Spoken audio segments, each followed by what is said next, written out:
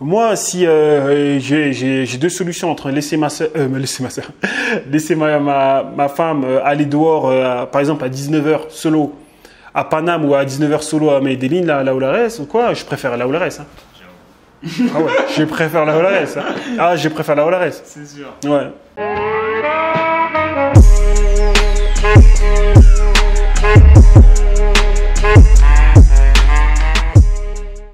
Alors bonjour et bienvenue sur cette nouvelle vidéo. J'espère les gars euh, que vous allez bien euh, depuis la dernière fois. N'hésite pas à t'abonner et à cliquer sur la cloche pour recevoir toutes les notifications. Et tu peux déjà mettre un j'aime parce que tu sais que tu vas aimer la vidéo en avance. Donc pourquoi perdre du temps? Je te rappelle que si jamais tu vas aller plus loin, parce que l'idée de la chaîne quand même, euh, c'est de pouvoir euh, être libre. Ok, donc tu as tout en description, tu as ma formation. Euh, non, c'est pas la formation, c'est l'étude de cas où je te montre comment j'ai fait les 20 40 semaines. Ok, Euh, si jamais tu dis que c'est une arnaque, hein, déjà va voir et tu verras que c'est juste logique. Et sinon, tu as ma formation qui est 100% financée euh, par le CPF, ma plus grosse formation pirate marketing, tu as tout en description. Tu peux y aller maintenant que l'instant pub est fini, les gars. On est là pour un nouveau interview avec Kevin, le Japon en noir et blanc, auteur du Japon en noir et blanc? Voilà, auteur du blog du Japon en noir et blanc. Je passe ma petite pub aussi, auteur du Japon en noir et blanc, qui vient de sortir hein, mon e-book, normalement, mon nouveau e-book sur l'apprentissage de la langue anglaise. hein. Comme vous avez vu, je vais atteindre les shows en anglais. Ouais, ouais, j'ai sorti un e-book sur l'apprentissage de la langue anglaise. Euh, allez voir sur mon site internet japon en noir et blanc.com. Sinon, euh, il y a mes e-books tout dur en japonais sans aucun effort. Apprendre à parler japonais en trois mois qui sont aussi disponibles sur mon site internet. Bon, l'instant pub est terminé pour nous deux. Ouais, il n'y a pas de problème. De toute façon, c'est déjà, tu sais, c'est du marketing de contenu. Donc ça fait toujours un plaisir parce que là, Kevin, il est du coup avec, euh, avec sa femme euh, euh, euh, en Colombie. Donc du coup, tu connais, on, a- on va se capter. Et on s'est capté et euh, ça fait bien plaisir, on a bien rigolé. Donc du coup, euh, Kevin, on va parler un petit peu de ton retour d'expérience sur euh, comment tu vois la Colombie Ouais. euh, dans un deuxième temps. Mais dans un premier temps, déjà, euh, pour ceux qui ne savent pas, j'ai- euh, Kevin, il a vécu au Japon. Tiens, Montre-nous un petit peu comment tu parles en japonais parce que les gars, ils pensent que c'est もう準備してないんですけど、じゃあ、あケビンです。ああ今から日本語で話します。あよろしくお願いします。 T'as dit quoi là Bah, j'ai dit, euh, ouais, c'est, je suis Kevin, à partir de maintenant, euh, je vais parler en japonais, et j'ai sans préparation, c'est ce que j'ai dit, voilà. Exactement. Donc c'est cool. Euh, bah déjà dans un premier temps, ouais, c'est déjà bien parce que Kevin a quand même voyagé pas mal. Et donc euh, déjà, c'est pas commun. Enfin, pour, moi, pour un Renoir, en tout cas moi après de, de ce que je connais, c'est pas commun pour un Renoir d'aller partir là-bas au Japon. Et j'avais vu ces vidéos, et je, je trouvais ça lourd. Même si moi, c'était pas forcément mon rêve d'aller au Japon, mais la, démarche, je trouvais ça lourd. Euh, D'où c'est venu cette passion pour le Japon, pour que tu aies même carrément envie d'aller là-bas, tu vois?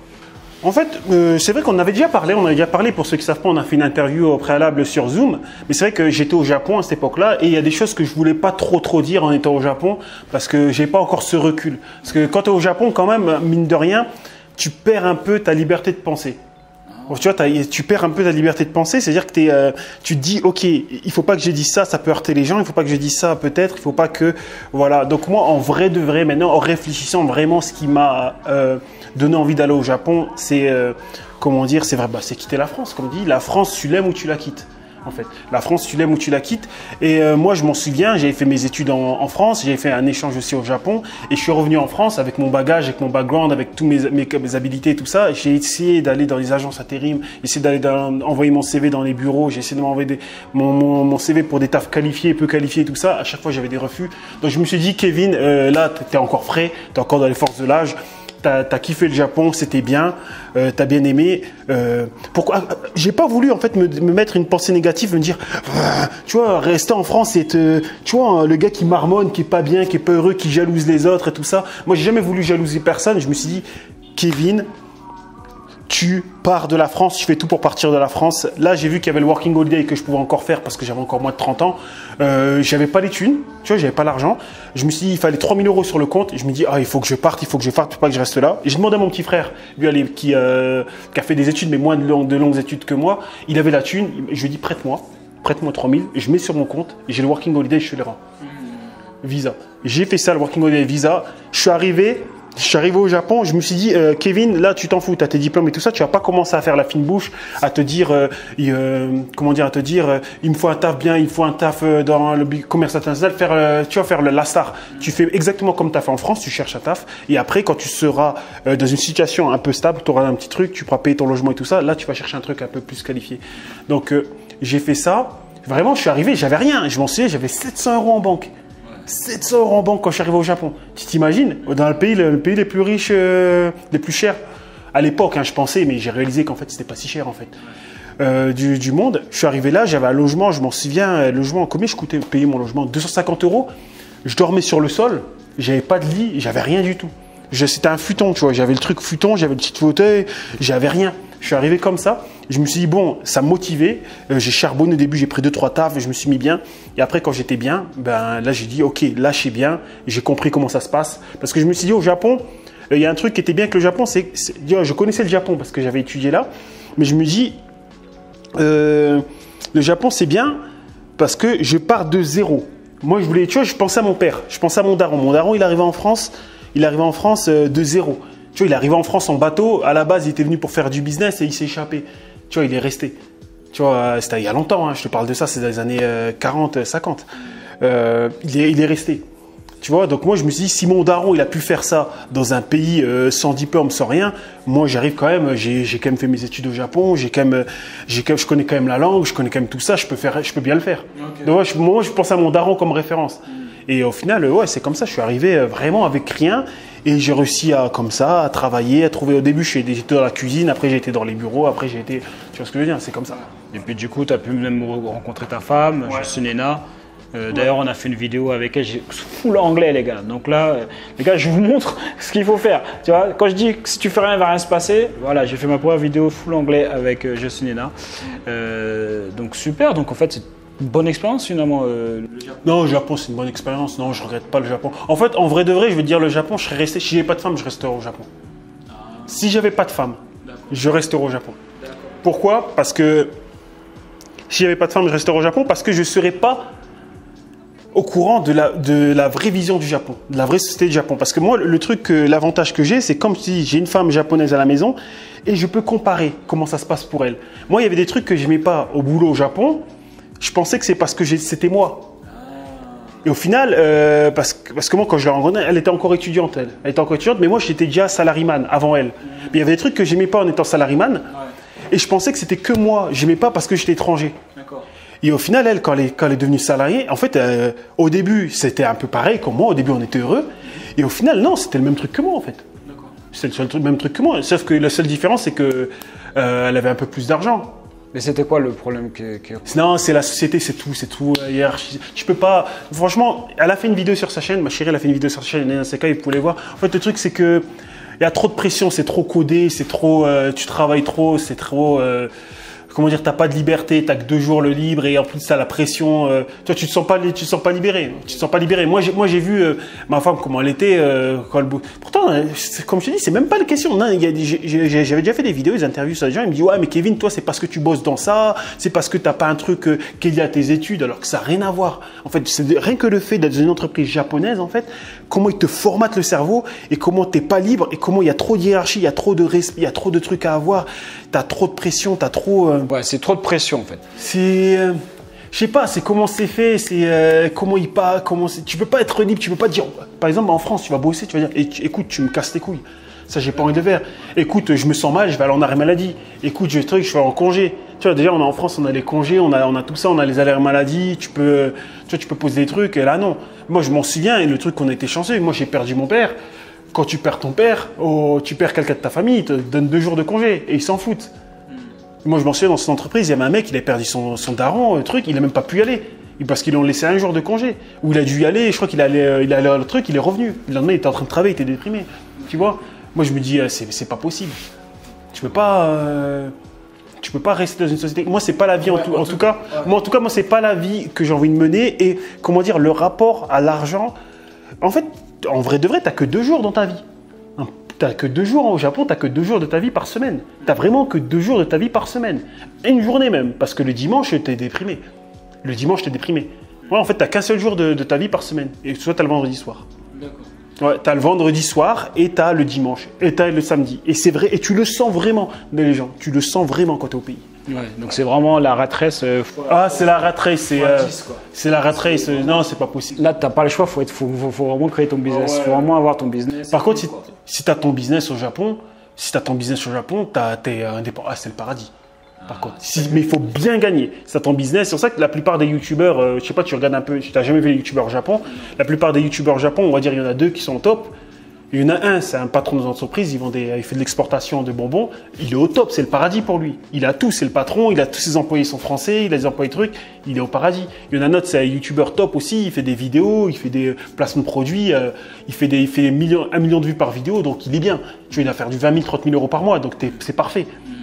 Mais si tu fais du 20 000, 30 000 euros par mois au Japon en étant salarié, c'est la merde. C'est comme si tu faisais 1000 euros. En fait, tu vois même pas, tu vois même pas la différence en fait au Japon. Que tu gagnes 1000 euros, 2000 euros, 3000 euros, tu vois pas la différence vu que t'as qu'un jour pour le gaspiller.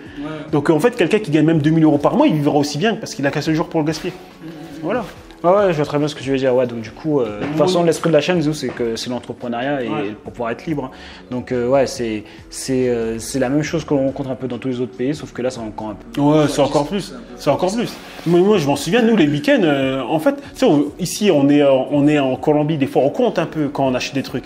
Moi, je m'en souviens, les week-ends, nous, pff, babe, oh, le week-end, uh, weekend, sometimes you're going to a restaurant, we are spending what, uh, Ichiman, Niman, a weekend. When you're thinking where, bon, on dépensait 150 euros, 200 euros en une seule journée. Tu vois, c'est rien, au Japon, tout le monde le fait. Tu vois, c'est tout le monde le fait euh, au Japon. Et c'est- ça va même pas te mettre dans la merde parce que c'est normal. Par contre, en Colombie, il va gaspiller. euh, tu vas gaspiller un truc. Tu manges euh, ici, quelqu'un va gaspiller 200 euros en, un samedi, en une seule journée pour manger. ça va être un truc de ouf. Pour les loisirs, ça va être un truc de ouf. Et, euh, et du coup, est-ce que quand tu étais au Japon, euh, Ouais. euh, je crois que j'ai posé ces des questions comme ça avec ta femme, mais bon, comme ça se trouve, tu pas vu cette vidéo avec elle, parce que en plus c'est full anglais, même si j'ai mis les sous-titres. Et comment tu t'es senti, toi, par rapport euh, au regard des autres quand tu arrivé là-bas, le fait que tu sois noir, est-ce que tu as ressenti un truc par rapport à ça? Ah, je vais te dire un truc. La vérité, je me sens euh, en tant que noir, je me sens mieux en Colombie, je me sens mieux euh, au Japon qu'en France. En France, en tant que noir, c'est le seul pays euh, où je me sens mal. Ouais, c'est le seul pays où je me sens mal. je sais pas, j'ai l'impression d'être noir en, en, en, en- en France, mais au Japon, j'ai pas l'impression d'être noir. J'ai juste l'impression d'être étranger. Voilà. Mais c'est normal, je suis étranger. Mais j'ai même pas l'impression d'être. euh, tu vois, ils me traitent normalement, en vrai. En vrai de- Peut-être à Tokyo, c'était un peu différent, mais à Osaka, non, j'ai jamais ressenti. Même, euh, même sa famille, ils m'ont accepté euh, comme si j'étais. euh, ouais, ouais, même ses grands-parents et tout ça. Et ils sont gentils, ils font des compliments. Tu vois, même ici, ils nous font des compliments, tu vois. Tu vois, moi, je m'en souviens, le truc du compliment, c'est comme la meuf, elle a abusé, elle a un peu forcé, ça, je l'ai dit à ma femme, le jour du mariage. You know, wedding day. Tu vois Ouais. Vas-y, vas-y, je t'écoute. Ouais, le, le- le jour du mariage, euh, comment dire, euh, tu vois, je devais mettre, il y a une- en fait, j'arrive, les costumes, en fait, il y a une femme qui devait mettre les costumes. Donc, c'est une femme qui met le costume. Donc, j'arrive, moi, elle me dit, vas-y, enlève tes habits. elle me dit, enlève tes habits. Et je mets mon costume, elle me regarde comme ça. Elle me dit, oh, you're, you're so cool. Ouais, t'es trop cool. Elle me dit, ouais, t'es trop cool, j'aime bien, ça te va bien. Mais moi, je pensais qu'elle qu'elle- qu'elle- qu'elle exagérait parce que c'est ça pour un compliment. Et après, j'ai entendu, j'ai entendu sais, avec les autres, parce que je comprends le japonais quand même, j'ai entendu euh, le truc, a dit, ouais, en fait, ils sont vraiment beaux, ce couple, c'est vraiment beau. Tu vois, c'est des vrais compliments qui ça venait du cœur, en fait. C'était vraiment super sympa. Et en mariage, on avait une assistante, elle s'occupait vraiment de nous avec le cœur, tu vois. Et, euh, et ça, voir des gens vraiment qui te regardent avec le cœur, qui t'aiment bien, qui t'apprécient, quand tu respectes leur culture et tout ça, ça n'a pas de prix. Et ça, je l'ai jamais ressenti en France. Pourtant, en France, moi, je suis né en France je respecte la culture française. Je crache pas sur. Mais j'ai jamais vu ce regard euh, d'une Française qui me dit Ah, c'est super. euh, Ah, euh, tu vois ce que je veux dire Tu vois ce que je veux dire? Comment je crois que je vais dire? Et du coup, est-ce que tu as. C'est quoi les, les, les- les trucs. euh, euh, donc on arrive sur la Colombie, les gars. J'avais Ouais. dit que c'est la Colombie, mais. euh, et c'est quoi les, les, le, choc culturel que tu as pu avoir? Les trucs vraiment que quand tu arrives au Japon, tu dis Ah ouais, c'est vraiment différent. Les différences qui t'ont marqué en fait. Oh, la rapidité des services, oh, la rapidité. Ah, ça, genre, non, non, la rapidité.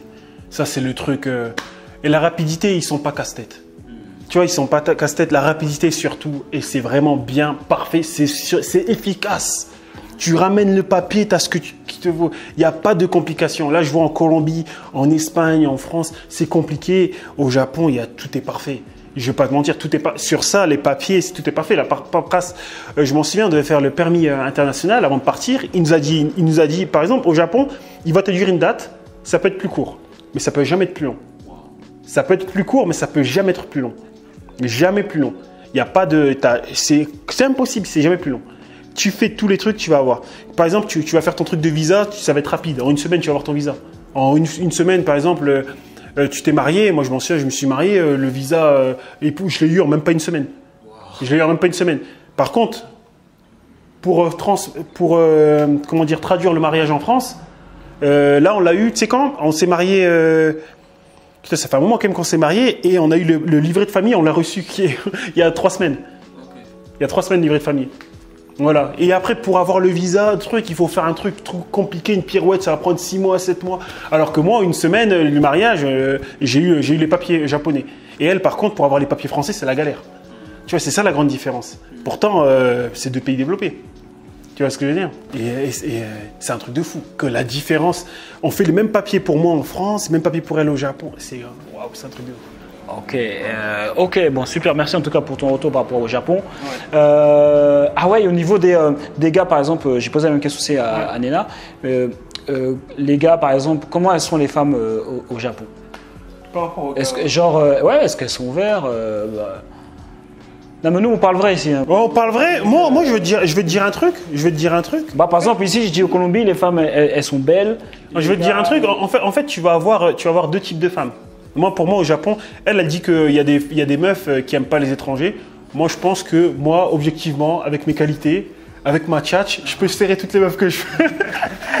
moi, même les japonaises qui aiment pas les japonais, moi, pour moi, hein, pour moi, je peux. Je peux. Pourquoi? Il y a un seul truc. En fait, il y a un secret. Tu peux, un, gars qui parle qu'anglais, il aura que les gaijin hunters. Les gaijin hunters, c'est-à-dire que les, les meufs qui veulent avoir que des gars étrangers. Il va avoir les gaijin hunters. Par contre, un mec qui parle bien japonais, je pense qu'il, qu'il- si il est malin, s'il est intelligent, je pense qu'il peut sortir avec toutes les filles qu'il veut. Après, il y a quand même des filles, c'est intouchable hein, quand même. Les filles qui sont en mode, euh, qui sont en mode, euh, qui aiment bien les asiatiques à fond, euh, K-pop, euh, coréen, tout ça, elles sont intouchables, c'est pas la peine. Tu vois, même si tu penses qu'elles sont flinguées, euh, non, j'ai pas flinguées, c'est, euh, relatif, hein, chacun ses goûts. chacun ses goûts. Même si tu penses qu'elles sont flinguées, elles sont intouchables. Non, il y a des meufs qui, aiment trop les asiatiques. En fait, il y a des meufs qui aiment trop les asiatiques et c'est mort. Il y a des meufs qui aiment trop les asiatiques, qui aiment trop les japonais, c'est mort. Et, le truc, c'est qu'il y a encore plus de gars. Pour nous, les mecs, ça va au Japon. Parce que je- à chaque fois, tu verras des gars, euh, quoi qu'il arrive, et même s'il a une meuf euh, qui est pas top, il arrivera à avoir une meuf au Japon. Par contre, les meufs, elles, c'est compliqué. Parce que les Japonais, ils sont, les Japonais ils sont très très durs avec euh, les étrangères. Les Japonais, ils aiment vraiment, vraiment beaucoup la femme japonaise. Pour eux, les- pour l'homme japonais, la femme japonaise, c'est la femme parfaite. Donc c'est pour ça que tu vois, c'est très rare hein, de voir des couples euh, l'inverse en fait. Même au Japon, non, j'en ai pas vu beaucoup. Par exemple, des, des couples noirs, euh, une femme noire et un homme japonais, j'en j'en connais une seule. Une seule en 50 vies au Japon, t'imagines? Par contre, le contraire, j'en connais pas. je- Mais du coup, et est-ce que les, donc du coup, si jamais tu parles euh, japonais, c'est un plus? Ah, c'est un gros plus, c'est un gros plus en fait. C'est comme en, en Colombie, tu parles espagnol. C'est c'est exactement pareil au Japon. Et, euh, et les femmes là-bas, elles sont genre euh, euh, avenantes dans le sens où friendly, tu vois?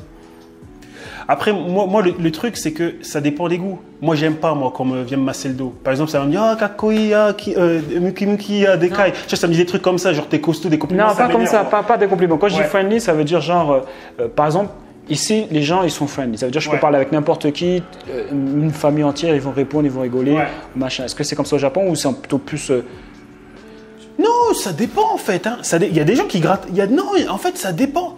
Ça dépend vraiment. euh, si tu prends Osaka par exemple, ça va être euh, un peu plus comme ça. Mais si tu prends par exemple. euh, Après, ah, si tu prends Tokyo, ça va être différent. Après, ça dépend avec qui t'es. Par exemple, moi, je sais, les Japonais, quand je suis avec un ami noir et avec un ami blanc, ou quand je suis tout seul, c'est différent. Quand je suis tout seul, par exemple, ils vont plus me parler, ils vont plus me considérer comme si j'étais intégré dans la société japonaise. Quand je suis tout seul, par exemple.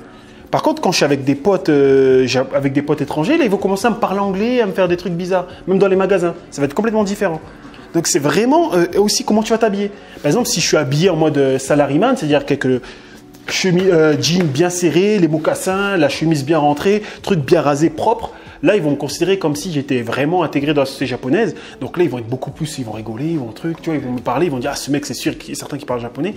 Par contre, si aussi je m'habille comme un étranger, complètement comme un étranger, là ils vont me, ils vont me prendre plutôt en mode ouais le gars c'est un playboy, ouais le gars c'est un, tu tu vois, il va avoir, il va avoir une image différente en fait. Tout va dépendre de ton apparence, de comment tu t'habilles, ton expression et ça joue vraiment beaucoup. Hein. L'habit, franchement, au Japon ça joue beaucoup, même si t'as un sac à dos ou quoi, si tu ressembles à un touriste, ça joue beaucoup. hein. Ouais. Ok, ok, bon, bah, peut-être que j'allais faire un, un tour pour, euh, pour aller voir. Euh, du coup, alors, par rapport à la Colombie, on va parler un peu de la Colombie. Ouais. Toi, ton retour, que ça fait un mois que tu es là, euh, comment tu trouves la Colombie, toi? La Colombie, c'est bien. Moi, je trouve ça bien. En vrai de vrai, je trouve ça bien. euh, c'est propre. Moi, je suis étonné, c'est beaucoup plus propre que ce que je pensais, parce qu'il y a des gens... Et c'est moins dangereux que ce que je pensais. Par exemple, euh, moi, je trouve qu'il y a beaucoup de gens qui disent c'est super dangereux. En fait, là, j'ai l'impression, quand tu dis Colombie, les gens, ils pensent que tu vas avoir un, na- un narcotrafiquant dans le coin avec un flingue qui va te dire, oh man, you give me, you give me your watch, you give me your stuff, give me everything. Tu vois, tu as l'impression que tu vas avoir ça, en fait. Et euh, en fait, non. En vrai de vrai, euh, non. Moi, j'ai voyagé dans pas mal de pays et je veux dire un truc, on y pensait, on y parlait la dernière fois. Il y a des pays asiatiques qui sont beaucoup plus dangereux qu'ici. Par exemple, tu prends la capitale, euh, c'est Hanoi, au Vietnam. euh, je pense des, c'est beaucoup plus dangereux. Phnom Penh en- au Cambodge, c'est beaucoup plus dangereux. Tu vas en, même tu vas en Malaisie, euh, Kuala Lumpur, euh, certains coins, c'est beaucoup plus dangereux. hein. Tu vois, même Paname, moi par exemple, Paname, moi si euh, j'ai- deux solutions entre laisser ma soeur, euh, laisser ma soeur, laisser ma, ma, ma femme aller dehors, euh, à- par exemple à 19h solo à Paname ou à 19h solo à Medellin, là, là où la reste, ou quoi, je préfère la reste. hein. Ah ouais, je préfère la reste. hein. Ah, je préfère la reste. C'est sûr. Ouais. Ok. Et est-ce qu'il y a des choses qui t'ont marqué de, de manière euh, culturelle euh, Ouais, le truc qui m'a marqué vraiment, c'est euh, ici. Bah déjà, moi je trouve que. euh, en, fait, il n'y a, rien vraiment de choquant culturellement. Je pense que le truc le plus grand truc qui me marque culturellement, je pense, c'est euh, euh, la façon dont les femmes s'habillent. Les hommes, ça va. Mais les femmes, quand ils s'habillent, des fois, c'est trop. En fait, je sais pas si c'est trop. C'est qu'une une femme, par exemple, parce que moi, je viens, je viens du Japon aussi. hein. La plupart de mes dernières années de la vie, ils étaient au Japon. Euh, au Japon, ils font tout pour cacher leur corps. C'est-à-dire que même, même si une femme, même il y a une femme, la dernière fois, on me parlait d'une femme sur Twitter qui faisait des, vêtements, parce qu'elle elle, elle avait des gros seins, elle voulait faire des vêtements pour cacher ses gros seins. En fait, et ça marchait au Japon. Tu vois, par exemple, au Japon, si tu as des gros seins, tu vas tout faire pour le cacher. Tu vois, au Japon, si tu as un gros boule, tu vas tout faire pour le cacher. Tu moi, je m'en souviens dans son livre au taf, ils ont, il lui disait, euh, faut pas que tu sois trop sexy en fait. Faut, si tu as des formes un peu, il faut que tu les caches au taf. Tu vois, pour, pour pas. Tu vois ce que je veux dire? Et ici, euh, en Colombie, j'ai l'impression que c'est le contraire. C'est que si tu as les formes, par exemple, une femme va être grosse, si elle a des gros ins, ça va tout mettre en valeur pour qu'on voit ses gros ins, tu vois. Par exemple, une femme, si elle a un gros boule, elle va tout mettre en valeur pour qu'on voit son gros boule, en fait. Tu vois ce que je veux dire? Ça- Ils font tout le contraire, en fait. Même j'ai vu des vieilles femmes, le truc qui m'avait choqué, j'étais allé à Decathlon, moi j'ai vu une vieille femme, euh, elle était vieille quand même, elle avait, elle avait les seins euh, comme ça, ça débordait, elle a mis des trucs, on voyait tout. La meuf, elle était en soutif, tu dis, waouh, c'est quoi ce bordel, tu vois? Tu vois le truc? Ou tu vas voir des, femmes avec, euh, sont avec leur enfant, elles ont le boule refait, tu vois, il y a le truc, tu vois, t'as des pétards comme ça. Ça, je pense, c'est ce qui m'a choqué le plus. C'est vraiment ce qui m'a choqué le plus, c'est sur ça. En fait, c'est que il y a des femmes, euh, par exemple en, Japon, je sais pas en France parce que je m'en souviens pas trop, avec un corps comme ça, ils ont des corps assolants. Le corps qu'ils ont, normalement, tu le montres pas. Tu essaies de cacher un peu. Il y a un peu de, de pudeur ou un peu de respect, tu vois ce que je veux dire. Et ici, il n'y a pas ça. Euh, ouais. C'est ce qui m'a le plus choqué. Ouais, mais oui, Et à chaque fois, ce qui me choque le plus, c'est que des fois, je vois même des meufs en soutif, euh, truc. Je vois, ah ouais, quand même. Après, soutif, euh, soutif, quand tu veux dire soutif, c'est genre une brassière. tu veux. Oui, non, c'est un soutif. C'est un soutif. Bon, c'est un soutif. Non, mais je précise pour pas que les gars ils pensent que les meufs elles. Non, il y a des meufs en soutif. Il y a des meufs en soutif. Mon frère, il y a des meufs en soutif ici. Il y a des meufs en soutif. Moi, j'ai pas vu. Après, c'est il pas Il voit pas. type. Mais en tout cas, oui, c'est vrai que les femmes ici, euh, oui, c'est l'opposé du Japon. Je te, Ouais, je te confirme. du- Enfin, j'y ai pas été, mais par rapport à ce que tu décris, les, mif- les femmes ici, ouais, vont se mettre plus, elles vont être sexy, ça c'est sûr et certain. Euh, après, en France, moi, ça fait longtemps que j'ai pas été aussi, ça fait 5 ans, enfin, que je suis pas resté un moment, genre deux mois au moins, tu vois. Mais euh, je pense que les femmes aussi, euh, en France, je pense qu'elles s'habillent euh, sexy aussi, je pense. Euh, après, moi, comme pas- je t'ai dit, moi, les, seules fois où j'y étais, c'est- c'était en hiver. J'ai pas été, j'ai pas retourné en, Ah non, quand en c'est été. l'été, euh, se j'ai pas, j'ai pas retourné en été. Je suis pas retourné en été depuis. Non, ça se passe bien, ça se passe bien Ouais. en France aussi. Euh, Il y a des belles femmes aussi en France, les gars, hein, donc soyez pas malheureux. Après, en Colombie, ça se passe bien aussi. Mais euh, ok, ok, bah c'est cool. hein, je pense que euh, c'est tout ce que. Voilà, c'était un petit peu un retour d'expérience que je voulais partager, que je voulais qu'ils partagent avec nous euh, sur la chaîne. Euh, je pense qu'on a fait le tour. Euh, tu voulais rajouter un truc par rapport à la Colombie ou... Non, la Colombie, c'est bien. Euh, les, gars, en, en vrai de vrai, moi, ce qui me, ce qui me, pas qui m'attriste un peu, c'est que vraiment, il y a trop, trop de clichés. Et c'est affolant. Et que même quand je leur montre, euh, quand je leur montre les, euh, tu sais, la Colombie, je montre les trucs. Par exemple, je montre les rues, ils disaient, ouais, mais là, t'es à, à Poblado. Là, des fois, je suis même pas à Poblado. Là, tu filmes là, mais t'as peur. euh, tu peux pas faire de vlog. Arrête, tu vas te faire tuer. Fais pas des vlogs comme ça. euh, les Colombiens vont s'occuper de toi. Tu devrais pas sortir ton phone. Fais pas de story. non, il me dit ça. T'es ouf de manger dehors comme ça. Non, il me sort des trucs de ouf. Et, tout le temps, et je leur montre les trucs, ils me disent c'est pas la vraie Colombie que tu montres. c'est quelle Colombie tu veux alors euh, Et c'est pas possible. Et c'est un truc de. ça- ils pensent vraiment qu'il y a trop de clichés de ouf. Il y a trop de clichés de ouf. Et euh, le truc aussi que j'ai remarqué, c'est que. euh, je fais pas trop de communautarisme et tout ça, mais euh, la plupart des touristes que j'ai rencontrés, par exemple les touristes français, c'est toujours des touristes caucasiens. Et j'ai l'impression que les gens qui ont le plus peur de ça, c'est les, les gars de quartier en fait. Tu vois, c'est les gars, euh, je sais pas, ils sont matrixés par un narcos ou quoi. C'est eux qui ont peur de ouf en fait parce que je les vois pas. J'ai vu très peu de touristes euh, noirs, francophones, j'en ai, ai pas vu beaucoup. Et très peu de touristes aussi maghrébins aussi, je n'ai pas vu beaucoup. Par contre, des touristes blancs, des familles, des gens qui viennent, des familles françaises avec leurs enfants, ils ont pas peur. hein. Tu vois, il faut arrêter d'avoir peur. En fait, c'est tranquille. Ah, les, gars- les, Am- ah, les Américains, ils ont pas peur. eux. Ils sont tous là. Et- En plus, moi, j'ai entendu un truc des Américains dire, di- dire que euh, c'est plus, c'est plus dangereux aux States que- qu'en Colombie. Ah ouais, comme ça Ouais, des Américains, j'ai entendu. Bah, c'est vrai que les gars, euh, pff, ils- comme ils ont des armes, le port de l'arme, euh, Ouais. donc euh, c'est compliqué, tu vois. Les gars, ils se tuent entre eux, donc c'est un peu relou. hein. C'est grave, grave, grave. Ouais, non, mais c'est clair que. euh, pff, après, il y a des endroits. En tout cas, Medellin, Medellin, ça se passe bien. Après, Bogota, moi, les gars de- sur place m'avaient dit, ouais, juste fais gaffe quand même, tu vois. Mais au final, Ici, on au final, je vais dire un truc. Nous, quand on était à Bogota, on a, on a fait ga- gaffe entre guillemets. Mais moment, on s'est retrouvé dans un quartier. euh, C'est censé être le quartier le plus chaud de, de Bogota. On s'est retrouvé là par hasard parce qu'on n'avait pas le GPS et tout ça. Ouais, on s'est retrouvé là par hasard. Je te jure, hein, il y avait tout le monde qui nous rematait comme ça, qui nous regardait. Et au final, euh, je pense que dans- depuis que je suis mon séjour à Colombie, il n'y a pas eu pire comme quartier hein, que ça. Et au final, ça allait. Ça allait. Je m'attendais vraiment que les gars, ils allaient nous attraper le bras, ils nous dire, ah, viens. Non, quand même pas, tu vois. Mais, mais genre, Ça euh, allait au final. moi, ce que me disaient les locaux, c'est ils m'ont pas dit genre, ils m'ont dit fais quand même attention. Genre quand, quand tu sortis, quand j'ai sorti mon portable faire des stories, ils m'ont dit ouais, quand même, genre fais attention parce que genre ils peuvent passer et juste prendre comme ça. Mais c'est juste ça. Mais genre venir t'agresser, Ouais, après, il faut faire. Ouais, c'est clair qu'il faut faire attention. Mais, euh, comme je dis, il y a des moments. En fait, ça dépend comment tu vas pas Oh, mais les gens, en fait, et moi j'ai entendu les gens qui se sont fait voler. Parce que j'ai des amis aussi, j'ai un ami qui vit en Colombie, en Colombie depuis longtemps. D'ailleurs, qui fait des, vidéos aussi. Euh, il m'a dit qu'il s'est fait voler. Tu sais comment il s'est fait voler? Euh, Sa femme, elle était sur le point d'accoucher.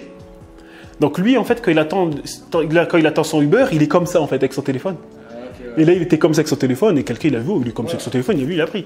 Il a dit, il s'est rendu, lui-même, il s'est, lui-même, il s'est, euh, il s'est dit, ok, c'est, j'étais, euh, j'étais, comment dire, ouvert au, au vol. Et j'ai une autre amie aussi qui vit en Colombie qui s'est fait voler aussi.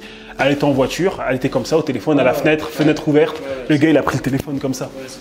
Mais si, euh, si je pense que tu mets ton téléphone là, non, t'es bien. Non, j'aime pas comme ça t'agresser. Genre non, c'est genre plus à l'arracher, tu vois. Moi, moi, franchement, j'ai pas vu un manquement de respect. J'ai pas vu quelqu'un qui me pousse. J'ai pas vu euh, quelqu'un qui me suit. J'ai pas vu. euh, franchement, je comme je te dis, au début, peut-être on était en mode psychoté, on psychotait un peu, regardez, mais en fait, au final, euh, tranquille. Ouais, non, non, les gens ils sont cool. Après, du manière générale, le- il y a des gens qui volent, mais le peuple, du manière générale, ils sont cool. Après, comme j'ai dit, tu vas pas sortir euh, là, par exemple, moi j'ai ma montre, je vais pas, je vais pas sortir voilà. avec, ma- je vais pas sortir avec euh, moi aussi une bracelet en or, truc. voilà, non, moi je reste modeste. tu vois, je- quand je sors, je suis modeste. Il faut être modeste, comme ils disent dans Don't Give Papaya, ils disent ça. Ouais. Non, il faut rester modeste quand même. Après, il y a des limites. Tu vois, je vais pas arriver avec les chaînes, euh, les montres, les, euh, les bracelets, Ouais, les blagues. Ouais, je cherche. Si tu, fais ça, tu, tu cherches. hein. Euh, mais ouais, voilà. hein. Donc voilà, les gars, euh, comme ça, ça vous permet d'avoir un autre retour de quelqu'un d'autre sur la Colombie, donc ça se passe bien. Les Américains ils sont déjà au courant, ils sont tous là, mais après, c'est peut-être parce que c'est plus proche, tu vois. Parce que tout le monde va en Thaïlande. C'est- euh, Mais la Thaïlande, c'est bien, il faut que j'y aille aussi. Je vais aller, je- quand en Thaïlande, je vous, je vous tiendrai, au courant. Euh, donc voilà, c'est tout euh, ce que je voulais partager avec vous dans cette vidéo. Euh, c'est bon pour toi aussi? C'est bon, les gars. Et venez vous abonner à ma chaîne, hein, les Japon en noir et blanc pour les intimes. Et, et les gars, et les gars. Non, je fais pas de pub, j'arrête. De toute façon, vous avez tout. Ouais. Je mettrai sa chaîne, je, où je le marquerai. De toute façon, Et prenez sa formation, les mecs. Non, en vrai de vrai, il donne des bons conseils. En vrai de vrai, il donne des bons conseils. Non, pour être euh, sérieusement, moi, c'est vrai que moi, je me suis, euh, je me suis euh, un peu reposé sur mes lauriers. Mais depuis qu'on a parlé et tout ça, là, je, je bosse à fond hein, sur ce qu'il m'a dit, des très bons conseils, même par rapport au tunnel de vente, par rapport à augmenter vos bénéfices, par rapport à YouTube, il donne des très bons conseils. Donc, c'est pas parce que je suis sur sa vidéo. Honnêtement, moi, je, moi, j'aime bien. En fait, moi, j'aime bien suivre aussi les conseils de mecs que je rencontre. Voilà que j'arrive à truc. En plus, il a l'expérience, il a l'âge. Franchement, non, il y a rien à dire. Parfait, nickel. Donc voilà les gars, donc vous êtes déjà au courant. Euh, de toute façon, tu as la formation euh, euh, Pirate Marketing qui te permet d'atteindre au minimum les 5K par mois. Euh, c'est éligible à 100%, donc tu n'as pas à sortir un euro de ta poche. si tu as du CPF. Mais de toute façon, tu cliques sur le lien, il y a tous les renseignements et tu pourras prendre un rendez-vous avec un membre de l'équipe. Tu pourras poser toutes tes questions, ils vont t'expliquer, on va t'accompagner de A à Z pour pouvoir euh, monter ton dossier, donner les accès à Pyramid Marketing. Et après, il va falloir bosser, il n'y a pas de magie. Donc voilà les gars, c'est tout pour cette vidéo les gars. On lâche rien et on reste déterminé. Eh ouais, il faut, il faut. Jamais. Gambaten. Et Yannou.